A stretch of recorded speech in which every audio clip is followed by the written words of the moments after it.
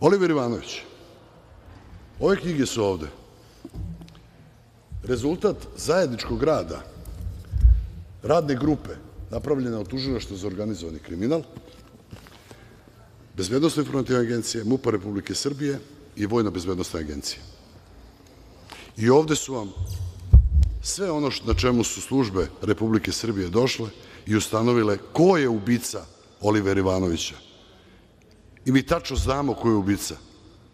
I tražili smo od nemačkih organa pod čijom je zaštitom u ovom trenutku taj čovek, da nam daju podatke. Imamo slike i sa aerodroma Tirana kada je sleto, imamo slike iz kada je ušao u Prištinu, imamo slike kad je ulazi u stan i naše pitanje je stalno bilo i našim partnerima, prijateljima našim.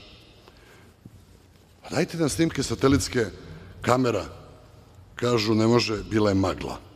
Pa u Londonu magla 350 dana u toku godine, sad jedan dan u, Kosovskoj Mitrovici, pa bila magla, za Boga ne mogu da vam daju. Dajte nam snimke. Dajte, uključite nas u istragu oko svega toga.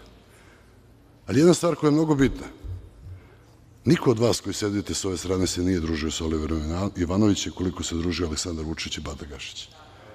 Niko od vas. Nije, niko od vas.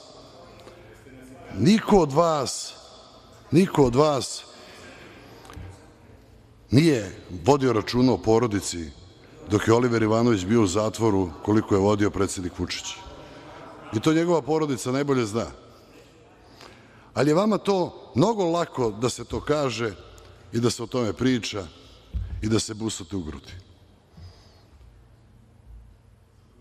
To što su oni nedostupni našim organima ne znači da u nekoj bliskoj budućnosti neće moći da budu procesuirani kod nas. Ali je slučaj rešen na način kako to profesionalci rade.